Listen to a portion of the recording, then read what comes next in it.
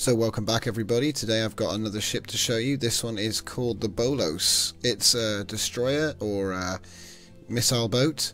It's got a bit of an interesting sort of head design on it. Put a bit of a sort of figurehead cambot style I guess.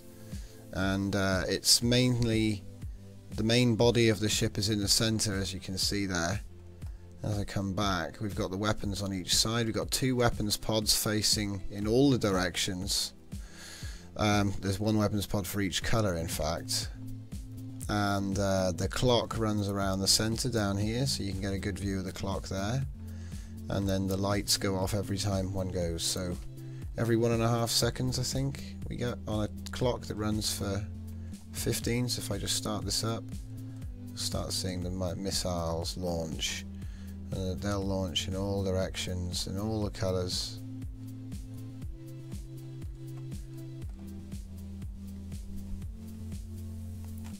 And this guy's got an overdrive engine. Overdrive engine takes it up to about 320 so it's only a small overdrive but it's enough to keep it at distance outside of the battle. And like I say we'll just take this for a little fly. You can see it's very very very effective. But like I say it staying out of the combat area but at the same time delivering an a, a good amount of artillery in. So I'm going to be scaling this one up because like I say I think it's quite a nice design and uh, yeah I'll probably release this ship as well. So this one's the Bolos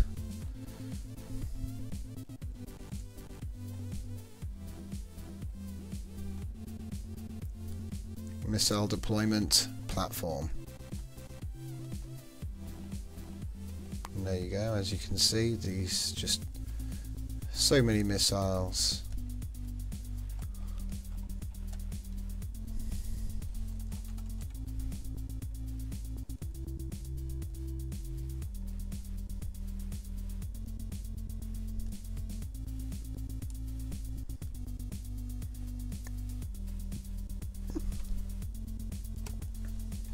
And yeah, just wanted to give you a bit an update.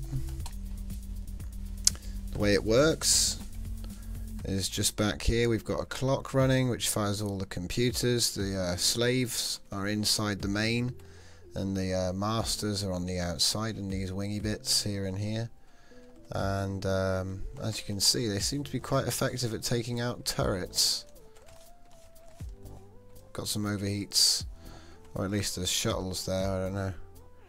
Things tend to hit for around 75 per. I've got 10 blocks in each. So that's where we're at with this.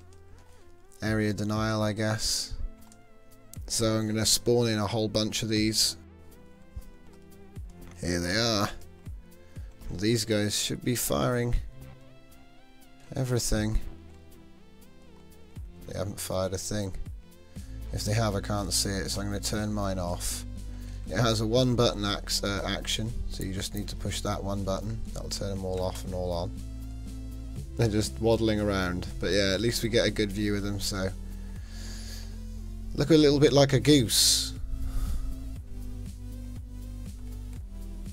Never really noticed it until just now. Does look a little bit like a goose. So yeah, uh, basically thanks for watching. I'll get a download link up for you guys and uh, yeah have a lot of fun with this one remember? All you have to do is push R on the activation block by the core and that sets off the fireworks. So it's a bit of a display ship but it can be useful for an anti-turret ship. So there you go. I'll be scaling this one up and I will see you next time